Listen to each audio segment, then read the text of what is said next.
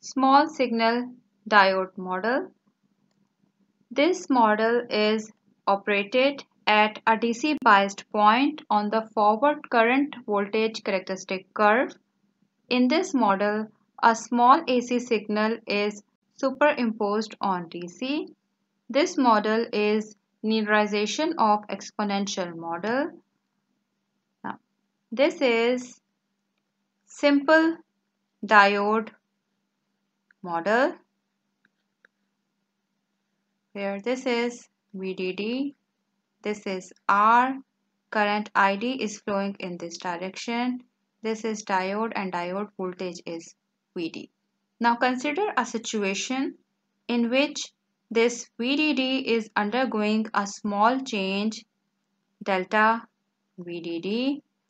This diode voltage is changing by an increment delta VD. Similarly, this diode current is changing by an increment delta ID. So, for this situation, circuit becomes like this where this is representing change in VDD. This is VDD. This is R.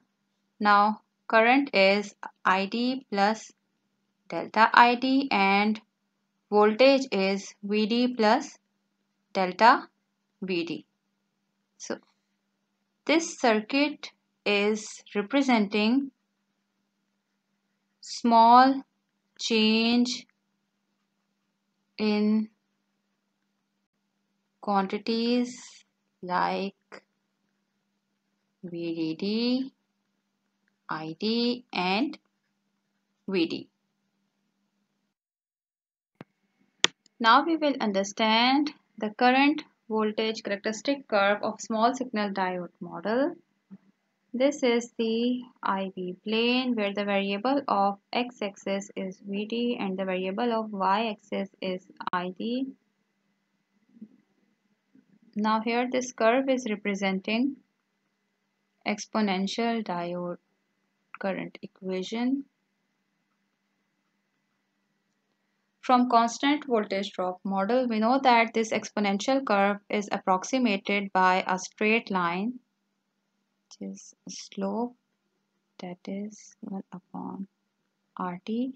Now, this straight line or slope, it is tangent at Q. This Q is a bias point. The coordinates of this bias point give us the values of unknown quantities like diode current and diode voltage. It means if we draw a straight line from this point on y-axis, we get the value of ID which is bias current and if we draw a line from this point on x-axis we get the value of VD which is bias voltage. Now as I have mentioned that in this small signal diode model a small AC signal is superimposed on DC. So we draw this AC signal like this this is showing current ID and for voltage this small AC signal is drawn like this. This is VD so this is the current voltage characteristic curve of small signal diode model. In case of small signal diode model there are two quantities. One is DC quantity and other is time varying or AC quantity. Okay.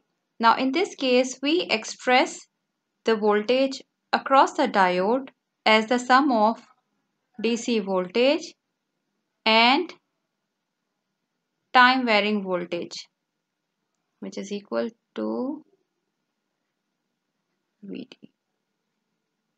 Correspondingly, the diode current will be ID plus ID is equal to ID. Now here these terms are representing DC quantities. Note that they are written in uppercase with uppercase subscript and here these terms are representing AC or time varying quantities and they are written in lowercase with lowercase subscript. Now these are total instantaneous quantities that are written in lowercase with uppercase subscript. We know that instantaneous quantities are those that are measured at a particular instant and they are DC plus time varying. We know that ID is equal to IS e raised to the power V divided